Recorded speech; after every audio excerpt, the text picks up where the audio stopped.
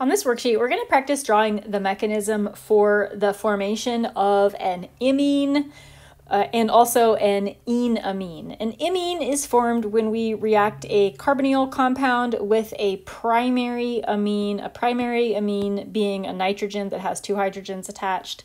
In this very first problem, we are looking at kind of a unique situation where the carbonyl compound and the amine are both part of the same molecule, and that is definitely an option. They don't have to be two entirely separate molecules. So the mechanism is an acid catalyzed reaction for, you know, for all, always the case with the formation of the imine, and that means that the very first step of this reaction is going to be using the acid, which is um, HOTS or TSOH, and we're going to be using that acid to protonate the oxygen of the carbonyl group to give us this right here. That's going to be what we start with.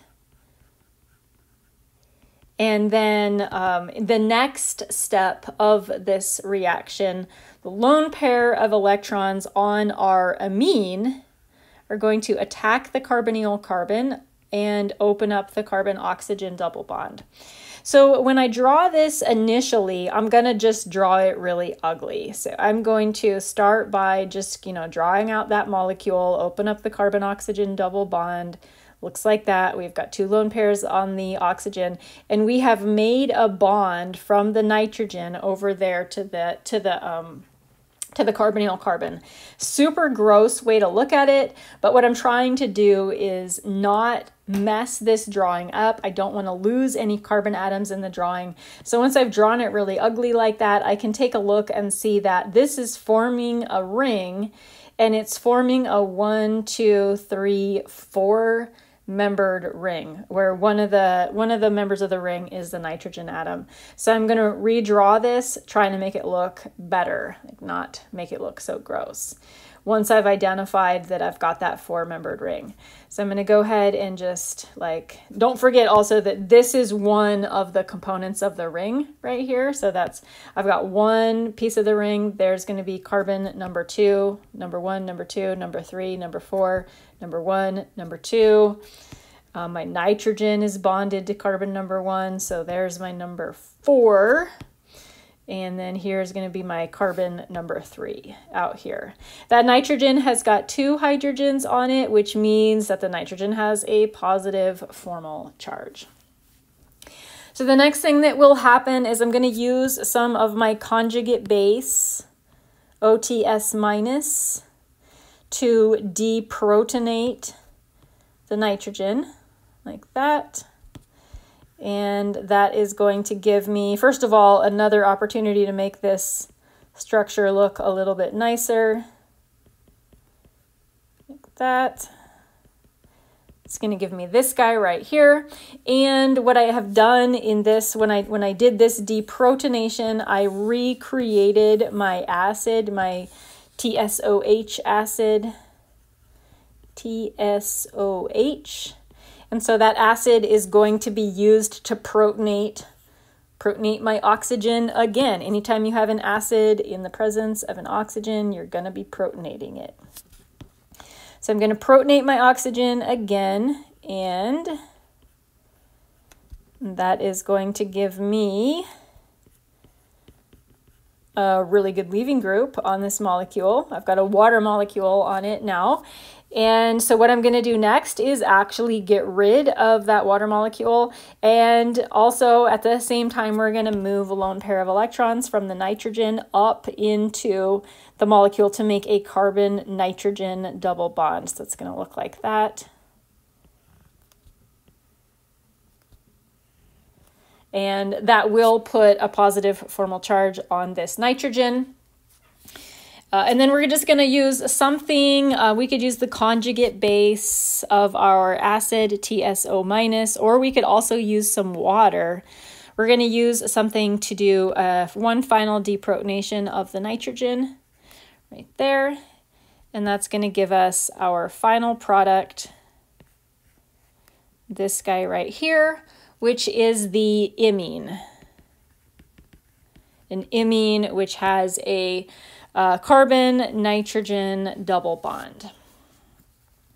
For the second reaction, we're looking at a reaction between a ketone, a carbonyl compound, and a secondary amine. A secondary amine is one that has only one hydrogen on it, two alkyl groups. So this mechanism is going to be a little bit different, um, but it's going to start out the exact same way. So we're going to begin with using our acid H2SO4 to protonate the oxygen of the carbonyl group give us this guy right here. And then we're going to use lone pair of electrons on the nitrogen of our amine to attack the carbonyl carbon and open up the carbon-oxygen double bond. And that will give us, I'm going to try to figure out the best way to draw this. That's going to create a bond to the carbonyl carbon from the nitrogen. That nitrogen still has both of its methyl groups. I'm just going to use line structure for that, plus the hydrogen on it as well. So the nitrogen, nitrogen is going to bring all of these things with it, and it's going to end up with a positive formal charge right here. We're going to use the conjugate base of our sulfuric acid, HSO4 minus, or we could be using water, anything basically, to deprotonate that nitrogen. So we'll grab that hydrogen off of the nitrogen and that will give us, this is a pretty bulky drawing. I'm trying to draw it as cleanly as possible. It's going to give us this guy. Now our nitrogen only has two methyl groups on it, lone pair, no more formal charge. But we recreated the sulfuric acid, H2SO4. I like to write it as H bond HSO4.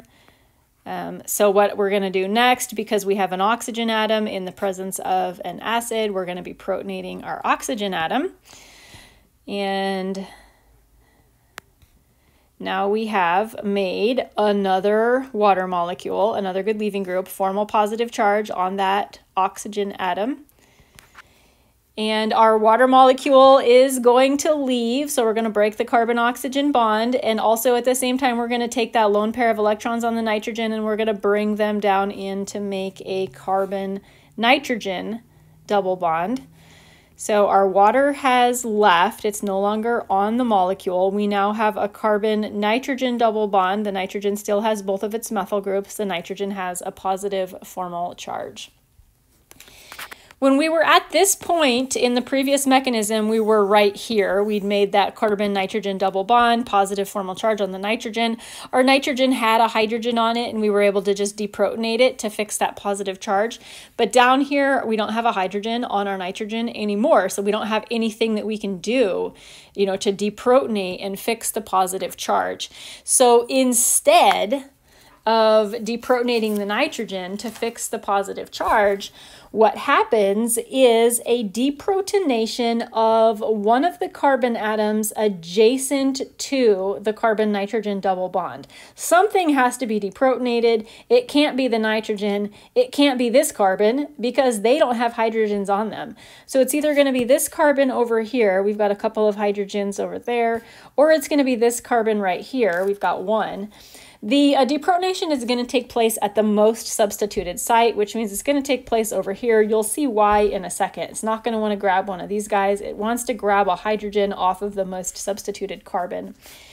Let's um, let's see. We've we have recreated our conjugate base, our HSO4 minus. So let's use our HSO4 minus to grab that hydrogen. I said we're going to pick this guy right here. We're going to take those carbon hydrogen electrons and we're going to move them in to make a carbon-carbon double bond and we're going to move the carbon nitrogen electrons back up onto the nitrogen atom as a lone pair. So that's how we're going to fix the positive charge on the nitrogen. Uh, we're going to fix that by just putting a lone pair on the nitrogen, getting rid of that double bond when we um, we still have our methyl group out here when we take this hydrogen off and we put a uh, make a carbon carbon double bond it's located right there. So the reason that we're grabbing this hydrogen is because if we look and see it creates the most substituted alkene possible. If we grabbed one of these hydrogens out here, the double bond would be located on this site, which is a less substituted alkene, not quite as stable. This is the final product of our reaction, and this product is called an enamine because it is an alkene slash amine.